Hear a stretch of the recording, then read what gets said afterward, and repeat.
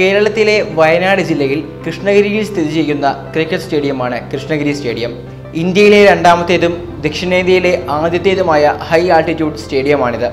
സമുദ്രനിരപ്പിൽ നിന്നും രണ്ടായിരത്തി ഒരുന്നൂറ് അടി ഉയരത്തിലുള്ള സ്റ്റേഡിയം നാല് പോയിന്റ് നാല് ഹെക്ടേഴ്സ് വിസ്തൃതിയിൽ സ്ഥിതി ചെയ്യുന്നു. കേരള ക്രിക്കറ്റ് അസോസിയേഷന്റെ ഉടമസ്ഥതയിലുള്ള ആദ്യത്തെ സ്റ്റേഡിയമാണിത്. രണ്ടായിരത്തി പതിമൂന്ന് ഡിസംബർ പതിനേഴിന് കേരള ഗവർണറായിരുന്ന നിഖിൽ കുമാറാണ് ഉദ്ഘാടനം നടത്തി സ്റ്റേഡിയം രാജ്യത്തിന് സമർപ്പിച്ചത്. ഇവിടെ ആദ്യ രാജ്യാന്തര ടെസ്റ്റ് മത്സരം നടന്നത് രണ്ടായിരത്തി പതിനഞ്ച് ഓഗസ്റ്റ് പതിനെട്ടിനായിരുന്നു.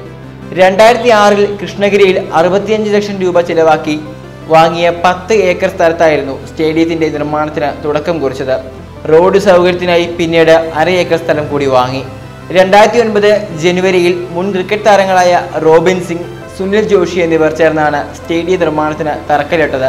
തുടർന്ന് കേരള ക്രിക്കറ്റ് അസോസിയേഷന്റെ മേൽനോട്ടത്തിൽ നിർമ്മാണ പ്രവർത്തനങ്ങൾ പുരോഗമിക്കുകയും നാല് വർഷം കൊണ്ട് പണി പൂർത്തിയാവുകയും ചെയ്തു.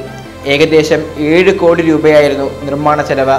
രണ്ടായിരത്തി പതിനാല് ഡിസംബറിൽ നടന്ന രഞ്ജി ട്രോഫി മത്സരങ്ങളായിരുന്നു ആദ്യത്തെ ഫസ്റ്റ് ക്ലാസ് ക്രിക്കറ്റ് മത്സരങ്ങൾ. കേരളവും ഗോവയും തമ്മിലായിരുന്നു ആദ്യ മത്സരം. പിന്നീട് കേരളം നേരിട്ടത് ഹൈദരാബാദിനെയായിരുന്നു. രണ്ട് മത്സരങ്ങളും സമനിലയിലായിരുന്നു അവസാനിച്ചത്. സ്റ്റേഡിയത്തിന്റെ ഉദ്ഘാടനം കഴിഞ്ഞ് രണ്ട് വർഷങ്ങൾക്കുള്ളിൽ തന്നെ ആദ്യത്തെ രാജ്യാന്തര ടെസ്റ്റ് മത്സരവും നടന്നു. അമ്പാട്ടി റായിഡ് നയിച്ച ഇന്ത്യ എ ടീമും ഡെയിൻ വിലസിന്റെ നേതൃത്വത്തിലുള്ള ദക്ഷിണാഫ്രിക്ക എ ടീമും തമ്മിൽ രണ്ടായിരത്തി പതിനഞ്ച് ഓഗസ്റ്റ് പതിനെട്ടിന് നടന്ന ചതുർദിന ടെസ്റ്റ് മത്സരമായിരുന്നു അത്.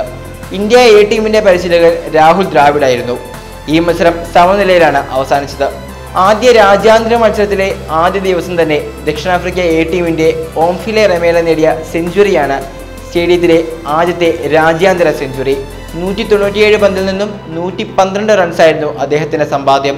ഇതേ മത്സരത്തിൽ തന്നെ ഇന്ത്യ എ ടീമിനു വേണ്ടി മലയാളി താരം കരുൺ നായർ നേടിയ സെഞ്ചുറിയാണ് സ്റ്റേഡിയത്തിൽ ഒരു ഇന്ത്യക്കാരൻ നേടുന്ന ആദ്യ രാജ്യാന്തര സെഞ്ചുറി. നൂറ്റി തൊണ്ണൂറ്റി രണ്ട് പന്തുകളിൽ നിന്നും അദ്ദേഹം നേടിയത് നൂറ്റി പതിനാല് റൺസായിരുന്നു ഏകദേശം അയ്യായിരം കാണികൾക്ക് ഒരു പാർക്കിലേതുപോലെ കസേരകളിലും പുൽത്തകിടിയിലും ഇരുന്ന് കളി കാണുവാനുള്ള സൗകര്യമുണ്ട്. മനോഹരമായ പുൽമൈതാനിയിൽ ടെസ്റ്റ് മത്സരങ്ങൾക്കായി അന്താരാഷ്ട്ര നിലവാരമുള്ള പിച്ചുകളാണ് ഇവിടെ നിർമ്മിച്ചിട്ടുള്ളത്. മഴ അധിക നേരം നീണ്ടു നിൽക്കുന്നില്ലെങ്കിൽ അരമണിക്കൂറിനുള്ളിൽ പിച്ച് ഉണക്കിയെടുക്കാവുന്ന സൗകര്യമാണ് മറ്റൊരു പ്രധാന സവിശേഷത.